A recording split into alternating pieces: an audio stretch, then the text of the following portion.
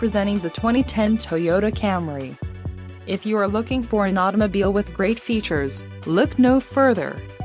This vehicle comes with a reliable four-cylinder engine, connected to a smooth shifting automatic transmission. Some of the top features included with this vehicle are stability control, daytime running lights, passenger vanity mirror, bucket seats, traction control, ABS, and child safety locks.